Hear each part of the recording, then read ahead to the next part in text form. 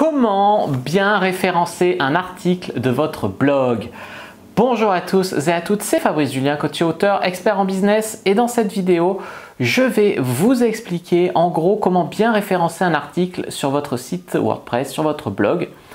Alors les amis, la première chose à bien comprendre, c'est que chaque article devrait avoir un sujet, un but, et ça va être ce qu'on appelle votre mot-clé. Par exemple, mon mot-clé, ça pourrait être comment séduire une fille. Dans ce cas-là, je vais intituler mon article Comment séduire une fille, 2 points, 7 techniques efficaces. Mon mot-clé, c'est comment séduire une fille. Mon URL, ça va être le nom de mon site, slash comment séduire une fille. D'accord? Je vais remettre le mot-clé dans l'adresse URL de mon blog. Euh, donc ça y est dans le titre 1 de mon blog, dans le titre de mon article, ça y est dans l'URL de mon article et je vais aussi remplir la méta description de l'article. Et dans cette méta description je vais mettre un truc du genre si vous avez envie d'apprendre à séduire une femme ou d'apprendre comment séduire une femme plutôt comme ça on met le mot clé si vous avez envie d'apprendre comment séduire une femme cliquez vite ici pour découvrir cette astuce euh, de drague. Voilà par exemple. Comme ça, je fais un petit appel à l'action et en plus, je, case un petit peu mon mot-clé. Donc ça, c'est la première chose. Votre mot-clé dans votre titre, dans votre URL, dans votre méta-description de la page sur votre article. Ensuite, bien sûr, le plus important, c'est le contenu de votre texte. Non. Votre texte, vous allez le structurer euh, en mettant, vous commencez par un paragraphe, ensuite vous allez mettre un titre 2 ou deux titres 2, vous, mettez des, vous séparez en fait vous agencez votre article pour qu'il puisse être scanné à l'œil avec des titres 2, des titres 3, etc. Ce qui est très important à comprendre, c'est que par exemple, vous ne pouvez pas mettre seulement un titre 2 et 7 titres 3. Non, ça doit être ou, un titre 2, un titre 3, un titre 2, un titre 3. Non, il faut qu'il y ait un sens et il faut que ça soit un peu en nombre au moins pair. C'est-à-dire par exemple, vous écrivez votre premier paragraphe, 7 conseils pour exciter une fille. Donc je mets euh, comment exciter une fille, conseil numéro 1, là je le mets en titre 2. Je remplis mon conseil. 7 conseils comment euh, euh, séduire une fille, titre, conseil numéro 2, je mets le titre 2. conseil numéro 3, je mets titre, titre 2. Conseil numéro 4, je mets titre 2. Et si par exemple, mon conseil numéro 4, par exemple, il se sépare en deux conseils, par exemple, ça peut être, je ne sais pas moi, euh, toucher une fille sur l'épaule et toucher une fille en bas du dos. Je vais mettre un titre 3, donc mon titre 2, comment, conseil numéro 4, euh, toucher une fille.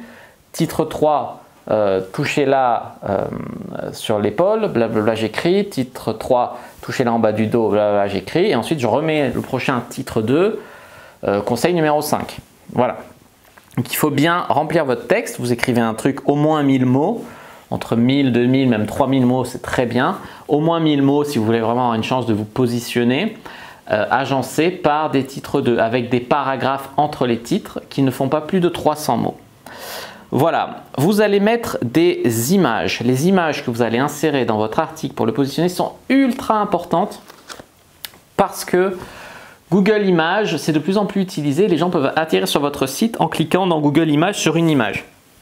Comment je vais arriver sur comment séduire une fille avec une image, je vais prendre une image où un mec a l'air de séduire une fille, et cette image, je vais la renommer. Donc, par exemple, je vais la télécharger sur euh, un truc en, licence libre, ou, par exemple sur Pixabay, enfin voilà. Je, vais prendre cette image, je vais la renommer comment séduire une fille, point JPEG ou point autre chose. Comment séduire une fille, et je, je upload le fichier que j'aurais renommé comment séduire une fille. C'est comme ça en plus, euh, Google, quand ils vont scanner l'article, ils ne peuvent pas voir ce que c'est l'image, les robots, mais ils vont voir le nom de l'image. Et donc, ça va rentrer dans le champ lexical. Je pourrais mettre aussi comment draguer une fille, etc. Mettre le champ lexical, justement, c'est mon point suivant. C'est-à-dire que, par exemple, je vais faire cette technique pour euh, séduire une fille. Maintenant, je vais mettre comment charmer une fille dans mon texte. Je vais mettre comment draguer une fille, comment conquérir une fille. Je vais mettre des variantes de mon mot-clé principal pour avoir vraiment ce qu'on appelle la longue traîne, c'est-à-dire tous les autres mots-clés qui sont reliés à mon mot-clé principal, pour avoir une page qui est puissante, qui est lourde et qui se référence beaucoup mieux. Alors tous les conseils que je viens de vous donner, c'est pour parler aux robots de Google. Bien évidemment, il y a un facteur très important, c'est que votre page, elle ne s'adresse pas à des robots, elle s'adresse à des humains. Donc vous devez faire en sorte que euh, ça soit lisible pour des humains. On ne fait pas un bourrage de mots-clés comme ça à la suite, ça, ça marche pas. C'est même un coup à se faire sanctionner par Google. Vous écrivez pour des humains, mais vous suivez les règles que je vous ai énoncées pour que le robot puisse également vous lire. Voilà les amis, j'espère que cette vidéo pour bien référencer un article de votre blog vous a plu. C'est le cas, n'hésitez pas à mettre un like sous la vidéo, à commenter. S'il reste des questions, j'y répondrai avec grand plaisir. Vous abonner à la chaîne, activer la cloche pour ne pas rater les prochaines vidéos.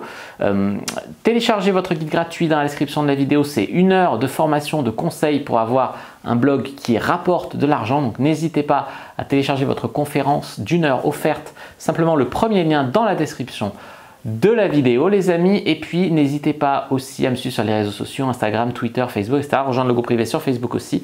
Moi je vous dis à bientôt et que le dieu du business soit avec vous.